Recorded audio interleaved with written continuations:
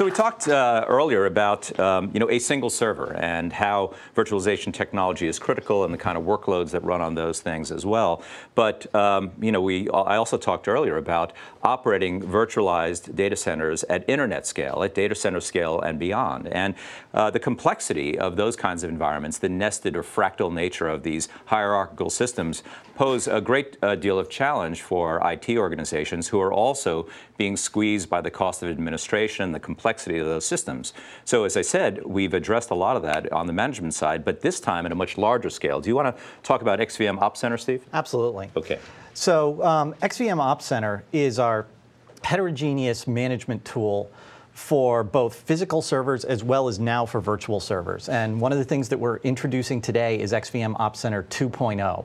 Um, so this major revision to the product includes the ability to manage XVM server, which I just showed you, in addition to existing physical servers from um, Sun as well as under other vendors like mm -hmm. HP, IBM, and Dell. And this capability gives us the ability to really manage across a data center and do it at internet scale. And mm -hmm. this mm-hmm. is one of the key things it was designed for. Um, we have customers using earlier versions of our Ops Center software to manage up to um, 4,000 physical systems, 50,000 cores. Um, and really from there, we're just scaling up. And we, as we see people move to the virtual world, the number of entities you need to manage only gets larger. So let me get this straight. This is a single data center mm -hmm. with 52,000 cores, all being managed by this one thing. Absolutely. It's uh, you, so, somebody has to get the video of this site. It's really quite remarkable. so. Um, so what I'd like to do is I'd like to go ahead and flip back to our Windows laptop here and um, show you a little bit of a demo of what this looks like. Mm -hmm. So again, here's the demo we just finished up looking at XVM Server. Mm -hmm. So this is the, the single server management view of this, of how do I take a virtualized server and all of the guest operating systems on it and manage it. Um, if I flip over here, again, within the same browser, I've now logged into a dedicated management server running the XVM Ops Center software.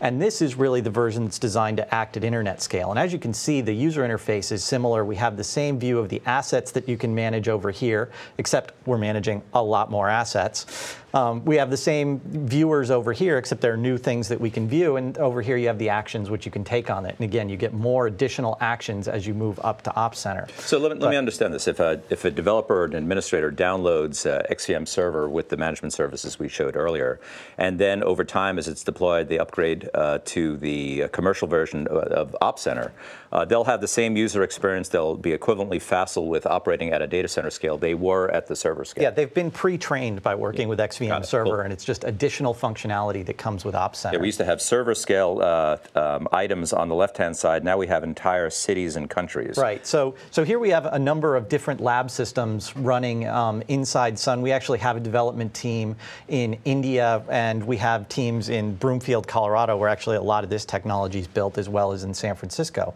So I can actually go to, say, one of the servers here in Colorado. I can select it. This is actually a physical server, okay. and I can see here some of the stats about it, how much memory does it have, CPU, some of the capabilities of the server in terms of what can be managed. Um, and um, I can scroll through that. I can see all the way down here, down to things like the firmware level on the machine. This gives us the ability to, again, not just manage the virtual like you saw, but manage the physical, all the way down to the firmware, bare metal operating systems, and beyond. So yeah, let, let, me make a point about that. So there's uh, a lot of talk about uh, virtualization management, all critically important, but um, XVM Ops Center is designed to deal with the entire life cycle of a data center, uh, all the way from uh, firmware provisioning and uh, physical virtualization or operating system provisioning to managing and live migration in the virtual world, right? right. And, and the entire life cycle, including patches and updates and upgrades, are all supported by this one um, distributed internet scale set of tools. Absolutely. And part of the way that we do this um, internet scale um, functionality is that we've designed a unique architecture into Ops Center where you can have um, distributed um, servers around different parts of your network around the globe that help take some of the management load. So for example, we have a customer that's uh, um, in the energy business. They have a central data center near Houston, and they have satellite data centers around the planet, some in, in places like Africa, mm -hmm. where there's very poor network connectivity. And in order for them to be able to manage remotely at that edge, they need something where they can push the work down there. Mm -hmm.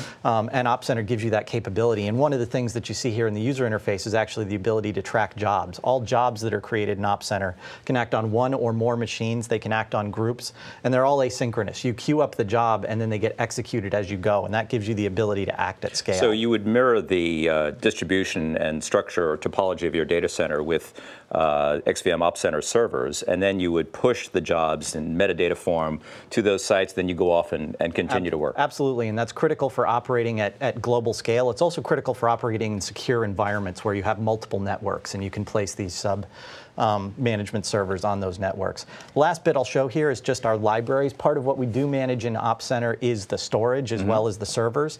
And we have different areas to store things like operating system images, firmware instances, OS updates, um, policies. All of these are stored in various storage libraries. And you can see here I have a storage library full of different firmware versions that I can go ahead and provision out to new servers. Mm -hmm. So really what this demonstrates is just the ability to use Ops Center to manage a data center at internet scale. Well, there's a one more one more piece here that um, um, uh, I just want to add, which is the complexity of these environments are getting so great that uh, the, what Steve just showed is essentially the, the ability to take some of the human element out of the provisioning and management to ensure that uh, you are in fact constructing the data center that you plan to construct by automating the, uh, the machinery that does the patching firmware upgrades uh, and ensure that you have the uh, configuration environment that you originally designed to have. Absolutely. And so it's a really very impressive uh, environment. Thanks, Steve. Cool.